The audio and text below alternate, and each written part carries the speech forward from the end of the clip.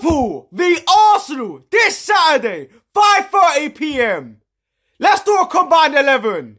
Yeah? No biasness. Come on.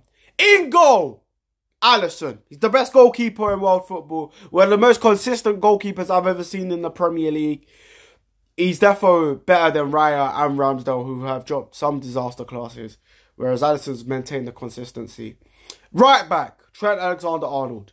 I think he would be one of the best fullbacks if Arteta had him. In terms of passing wise, in fact, fullbacks, he would definitely develop under Arteta. Um, the two centre backs has to be Van Dijk and William Saliba.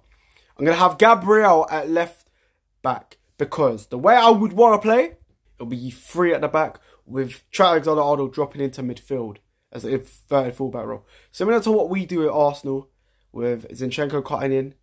Just swip the sides around. Just flip the sides, switch it, switch it. Oh man, yeah, left side back because Gabriel does a lot of covering for Zinchenko anyways. And I think Gabriel is the best South American defender right now. I think he is so good. He has to be in with Saliba. This the defensive duo you need. Van Dijk, the best centre back in the Premier League. Mm, I think Saliba and Gabriel at the moment have been better. I'm not even joking. In midfield, Declan Rice, best DM in the Prem.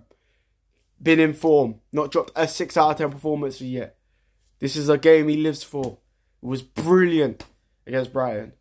and he's cooked. He's cooked every game he's played, man.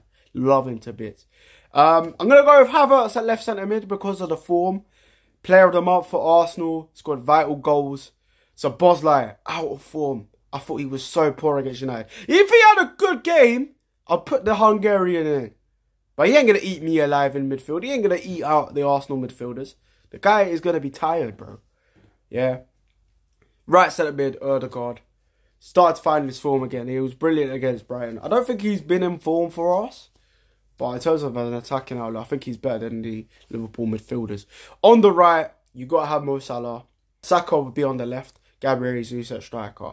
Let me know what you think. I think I think that's a front three that has been relatively in form. I think when you compare Liverpool's front three to previous, it's a massive downfall. Yeah, man. Let me know what you think. Um, I'm very confident of an Arsenal performance. I'll do a, a predictions video very soon. It's the big game. Comment below anything you disagree with.